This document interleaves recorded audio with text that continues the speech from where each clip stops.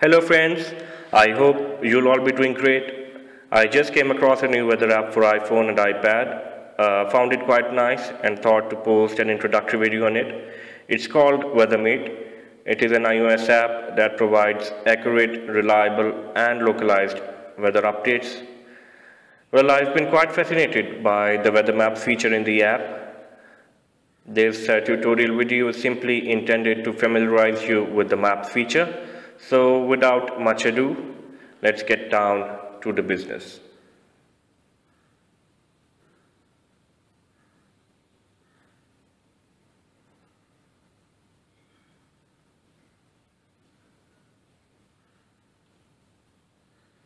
Well, in order to initiate our demonstration right from scratch, we'll have to uncheck these map overlays. Uh, here uh, we can choose the map type of our own choice. We have the standard satellite and hybrid maps. Hybrid maps are the combination of both satellite and standard maps, but uh, for this video we'll be going for the standard maps. Map layer settings allow you to choose the map overlay you want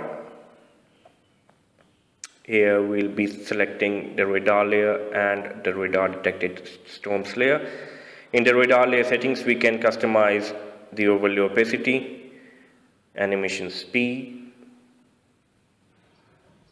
NEXRAD reflectivity, and TDWR reflectivity, which are basically the different radar imageries. With all the settings done, you can see the animations have been triggered and the radar maps are emerging.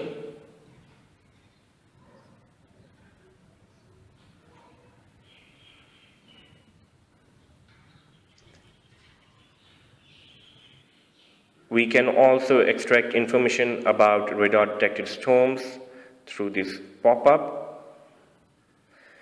I hope this video tutorial will help you in getting a basic understanding of the weather maps feature I'll be doing more videos on this feature of WeatherMate. Till then, take very good care of yourself.